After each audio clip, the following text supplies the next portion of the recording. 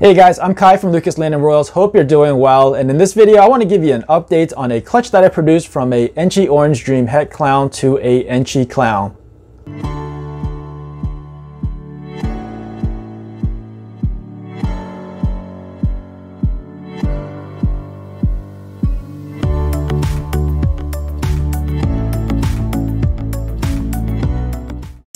Alright guys, so just to be transparent, this is a video that I probably should have released sooner. What had happened was I misnamed the file and so it got pushed down a little bit further than it should have. So as I'm going through and checking out what I'm supposed to be making next, I stumbled across this video and I was like, oh crap, this was from a while ago. So I'm just making up for lost time and posting up this video. By the way, a lot of people have been asking me about what animals I have for sale. And they've been asking me on the videos where I show you the animals after their first shed. Um, unfortunately, that's too late already because a lot of the animals by that time have already sold.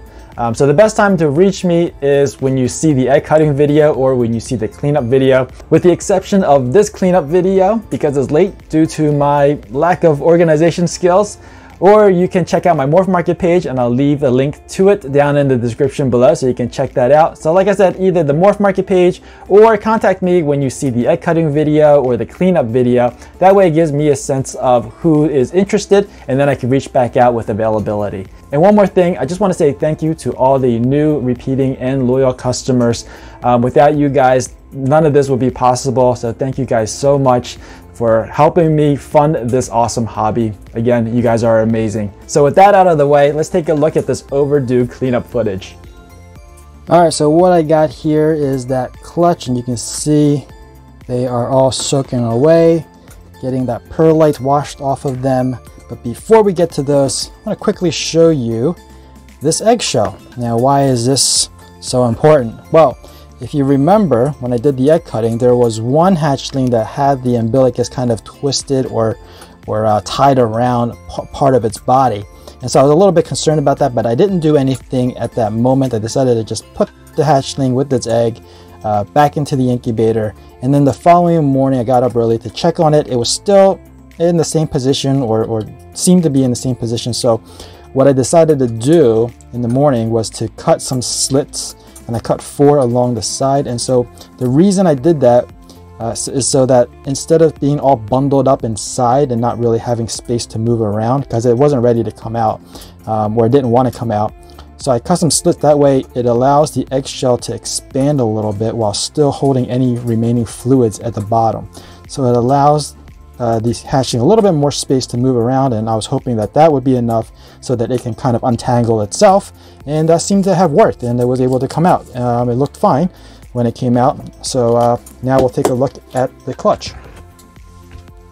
So I'm going to start or at least try to start with the ones with the lowest number of genes. I'm not sure if I can pick those out. Uh, I think it's this one.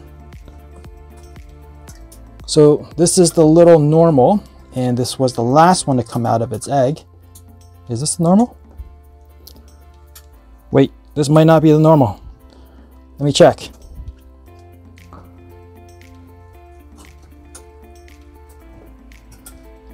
Uh, you guys are seeing everything.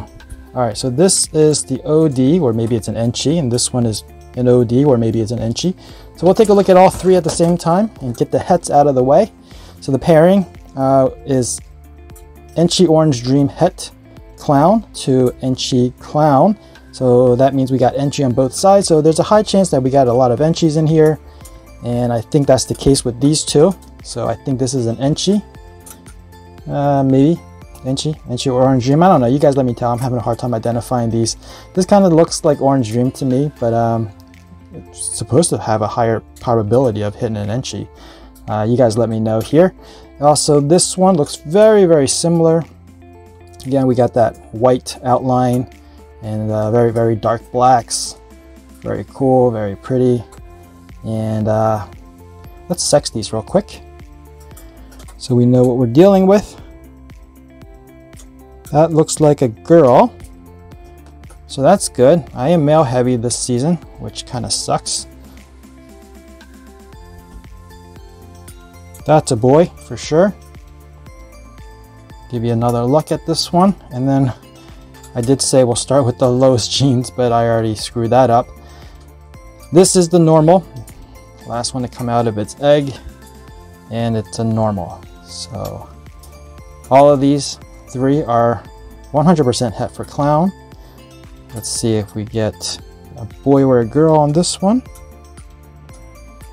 That's a girl. So far, one boy, two girls. Pretty good. Uh, let's see Let's see how that, uh,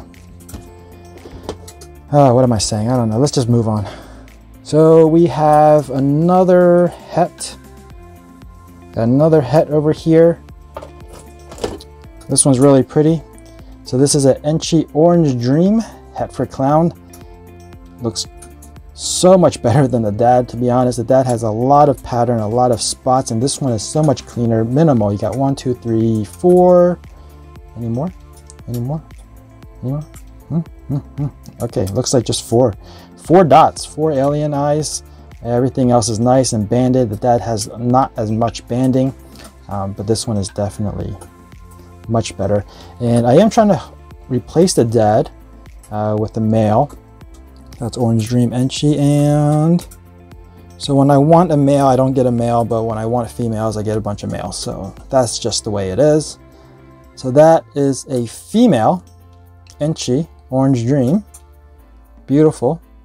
I am trying to stock up on my female, so this being a female will still be a holdback. Moving on, check these two out. Check these two out, guys. Boom. Beautiful. Beautiful. Look at these Enchi clowns. This one's got a cool, nice symmetrical head stamp, this or head pattern, and this one's got an asymmetrical. I kind of like the asymmetry a little bit better. Um, so these two were the first to come out of their eggs, and I did get a chance to sex them already. And guess what? Both are male. This one's a little bit, um, not a, uh, it's got it's got more of a broken pattern. You can see. I kind of like that one and the asymmetry, so I might be holding one of these back, probably this one. And this one, it's got more of a connected dorsal stripe. There's like one break there and the rest of it seems to be connected, which a lot of people like that. And the symmetrical pattern on the head. Check that out. Two boys Enchi clowns. And the last one, really, really happy about this one. And this is the one that had the umbilicus wrapped around its body while it was in the egg. And you can see while I was extremely concerned about it because uh, this is like the most beautiful one out of the clutch. Check that out. Look at how orange it is compared to the uh, straight up Enchi clowns. You can see the difference. This one is definitely definitely uh, Enchi orange dream clown um, at one point when I was in the egg, I think I saw like a segment like that. I thought it could have been a Super Enchi, but now that it's out, I think it's an Enchi Orange Dream Clown. And I did sex these, or I mean, I did sex this one, and it was a female, but hopefully it'll stay as a female. Yes, indeed, it is still a female. Um, I was kind of hoping for a male just to replace the dad, Again, trying to replace the dad, but uh, that doesn't seem to be working. Still, still, you know, you can't complain about this. Look, look how gorgeous it is. Can't complain. And being a female, definitely, definitely another holdback. Boom. All right, so they are going to go in the incubator. I'm sorry, what am I saying? They're going to go in the rack, hatchling rack, and uh, we'll just let them all shed out. And I'll give you another update once they do. So there you have it. Again, I want to apologize for posting this video so late, but the good news is whatever I was thinking as holdbacks during the time of that footage is different now. Things have changed. So that might be good news for some of you. That about wraps it up for this video. I hope you enjoyed it. If you did, please give me a thumbs up. If you're new to this channel and you want to be informed of future uploads, make sure you're subscribed and hit that notification bell. As always, thanks for watching. Please share and I'll see you guys next time.